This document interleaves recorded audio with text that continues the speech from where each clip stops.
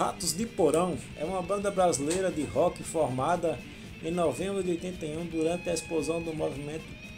punk paulista. Com mais de 40 anos de carreira, são referência brasileira do gênero e reconhecido internacionalmente, em particular na Europa, América Latina e América do Norte, e às vezes até mais valorizado que seu próprio, seu próprio país de origem. E sua história, fase punk primórdios de entre 81 e 84, no início da década de 80, influenciado pelo movimento punk que começava a se tornar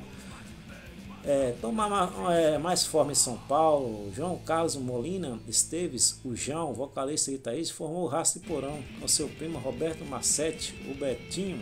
baterista, e o amigo Jarbas Alves, o Jabá, baixista, no distrito de Jaguara,